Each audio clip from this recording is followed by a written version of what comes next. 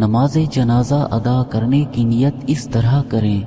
चार तकबीरें नमाज़ जनाजा फ़र्ज़ किफ़ाया। सना वास्ते अल्लाह के, दुरूद वास्ते रसूल अक्रम सल्लल्लाहु वसल्लम के, दुआ वास्ते हाजिर इस मैयत के, मुँह तरफ़ काबा शरीफ के, पीछे इस इमाम के। फिर हाथ कानों तक उठा कर अल्लाह अकबर कह के जेर नाफ बाँध लें और ये सना पढ़ें। सुबह नकल्लाहुम्मा व बिहमदिका व तबारकस्मुका व तआल व जल्ल सनाउका वला इलाहा गैरुक। फिर दूसरी तकबीर में हाथ उठाए बगैर दरूद इब्राहिमी पढ़ें।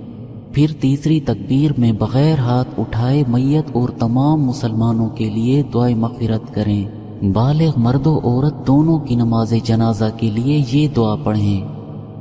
अल्लाहुम्मगफिर लिहय्यिना व मय्यितिना व शाहिदिना व गाइबिना व सगीरिना व कबीरिना व ज़करिना व उनसाना अल्लाहुम्म मन अहयैतहु मिन्ना फ़अहिही अलल इस्लाम व मन तवफ़ैतहु मिन्ना फ़तवफ़हु अलल ईमान। अगर नाबालिग लड़के का जनाजा हो तो ये दुआ पढ़ें।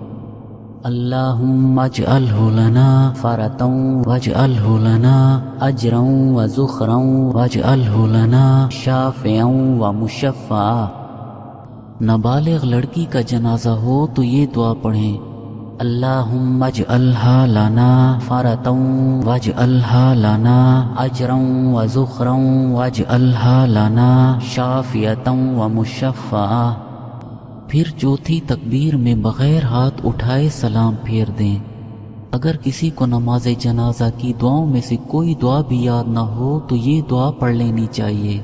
अल्लाहुम्मगफिर लना वाली वालिदैना वलिल मुमिनीना वल मुमिनात अगर ये दुआ भी याद ना हो तो सूरतुल फातिहा या जो भी दुआ मासूरा याद हो, वही पढ़ लेनी चाहिए। दुआ मासूरा उसे कहते हैं जो कुरान मजीद से हो, या रसूल अल्लाह सल्लल्लाहु अलैहि वसल्लम ने फरमाई हो।